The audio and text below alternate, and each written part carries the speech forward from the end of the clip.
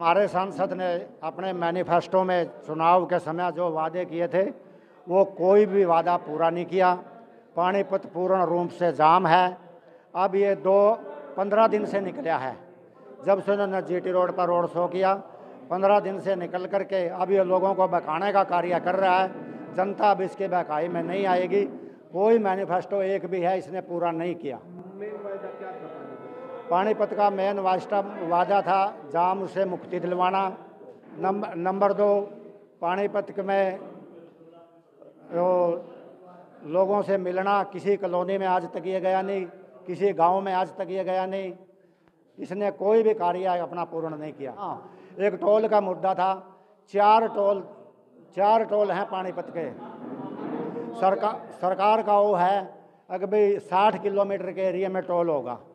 आप पानीपत का देख लो, परली साइड में हल्दाने का देख लो, एक और ये इस साइड में बनवा दिया, इधर बनवा दिया, टोल से इनको कमीशन आती है। तो ये टोल हटवाएगा क्यों? चुनाव आ रहा है, जो लोकसभा का, हम सभी भाइयों से अपील करते एक तो बढ़ चढ़ कर वोटिंग करें। और जो हमारे सांसद थे, पिछली बार संजय भाटिया जी दौरा काफ़ी कम हुआ है उनका, लेकिन विकासों की जड़ी भी लगी है। अब जो हमारे लोकसभा से, करनाल से मनोहर लाल खट्टर जी को टिकट मिली है। हमें उनसे उम्मीद है कि काफ़ी यहाँ पर रोज़गार और सड़कें, पानी की व्यवस्था, गाँव में जो गंदगी है उसको भी कह के सरपंचों के माध्यम से साफ़ किया जाए और पढ़ाई पर भी विशेष ध्यान दिया जाए छोटे बच्चों पे। जो ये आजकल सरकारी स्कूलों में नहीं जा रहे हैं, उनको भी प्रोत्साहन दिया जाए कि यहाँ पे अच्छी पढ़ाई हो रही है। जो प्राइवेट स्कूल है। उन्होंने काफ़ी काफ़ी अपना महँगाई कर रखी है उन्होंने। और स्वास्थ्य के भी बारे में भी जो आयुष्मान कार्ड वगैरह बने हैं, उसका पूरा भरपूर लाभ मिलेगी। पिछले सांसद का जी प्रोफ़ाइल कुछ खास नहीं रहा, वो गाँव में पहुँचे नहीं। जैसे कोई खुला दरबार नहीं लगा, वो समस्या सुननी चाहिए सभी की। या ऑफ़िस में बैठ के तो बात होती नहीं। धरातल पर ही पता चलता है सांसदों का। अभी तक किस पार्टी ने टिकट दिया और उनसे क्या उम्मीद रखते हैं यहाँ से जी बीजेपी के मनोहर लाल जी आए हैं जो पहले हमारे मुख्यमंत्री थे अभी हमारे लोकसभा से इलेक्शन लड़ने जा रहे हैं। हम्म, और हमें उम्मीद है उसको बढ़ चढ़ कर हम वोटिंग से जिताएँगे। और अपने करनाल का विकास करें। पिछले सांसद ने कोई दौरा नहीं किया जी, कहीं भी कोई दौरा नहीं किया। विकास किया जो भी है, वो मुख्यमंत्री की देन थी। सांसद ने कोई विकास नहीं करवाया। पूरे हरियाणा के अंदर ही है, हमारा तो कुछ काम ही नहीं होया इस चीज़ में। जो मुख्यमंत्री ने काम किए थे ये सेंटर की तरफ़ से कोई सुविधा नहीं मिली है मेरे अंदाजे में तो।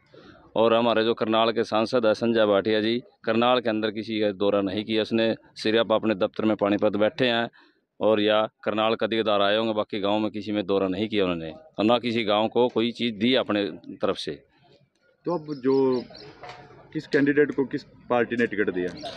बीजेपी ने टिकट दिया है श्री मनोहर लाल खट्टर जी को जो हमारे पहले मुख्यमंत्री भी रहे हैं। तो इन्होंने विकास तो किया है। आगे हम उम्मीद रखते हैं कि करनाल के अंदर इससे ज़्यादा विकास होए। गाँव के अंदर कोई विकास नहीं होगा सिर्फ़ शहर में है तो हम चाहते हैं भी गाँव के अंदर भी विकास करें। उम्मीद है? हमें उम्मीद तो है देखो दो फिर मुख्यमंत्री रहे हैं तो उम्मीद तो होती है इंसान से लेकिन नहीं करेंगे तो वो तो मुश्किल ही है पर अच्छे काम करेंगे तो अच्छा कमाएँगे माड़ा करेंगे तो माड़ा ही कमाएँगे यहाँ सरकारें तो कह रही हैं बहुत काम किया। हरियाणा स्टेट ने किया लेकिन सेंटर की तरफ़ से तो कोई सुविधा नहीं मिली हमें। ऐसा क्या है? बहुत विकास हो रहा है। ना जी कोई विकास नहीं हमारी नज़रों में कहाँ जी? देखो गलियाँ का क्या हाल हो रहा है गाँव में? नालियाँ गंदगी की भरी पड़ी हैं कोई लाइट की सुविधा नहीं है कोई कुछ नहीं है। कहाँ की सुविधा किसी चीज़ की जी? आगे क्या उम्मीद रखते हैं उम्मीद रखते हैं आगे हमें पूरे गाँव के अंदर विकास हो पूरे ज़िलों में विकास हो तो अच्छे रहेगा। देखिए सांसद होना चाहिए जो जनता का सांसद हो ना कि सरकार का क्योंकि जनता सांसद को चुन के संसद में भेजती है।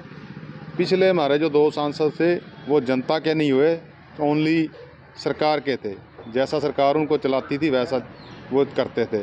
हम संसद चाहते हैं जो जनता के बीच में रहे, उनके दुख सुख में रहे, अपने ज़िले का विकास करवाए और लोगों को हर समय कोई भी समस्या हो, उसके लिए मौजूद रहें और बाकी जो भाईचारे को बना के रखेगा छत्ती बरादरी भाईचारे को जो जोड़ने का काम करेगा, हम वैसा सांसद चाहेंगे जो लोग जातिवाद के नाम पे जहर घोलते हैं भाईचारा खराब करते हैं ऐसे सांसद की हमें कोई ज़रूरत नहीं है। पीछे कैसा विकास हुआ है?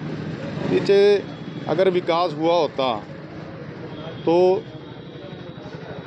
पहले सांसद को टिकट दे देते। पहले इनके अश्विनी चोपड़ा को टिकट दी थी। अगर उन्होंने विकास किया होता तो दोबारा उनको देते। उसके बाद संजय भाटिया को दी। संजय भाटिया ने अगर काम किया होता तो दोबारा संजय भाटिया को मिलती।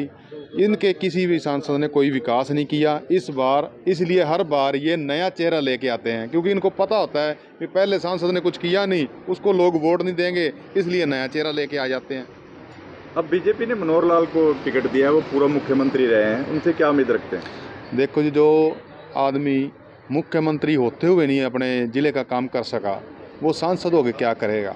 सांसद ने तो सेंटर से ही लेना है। तो मुख्यमंत्री के तो पास तो खुद पावर थी।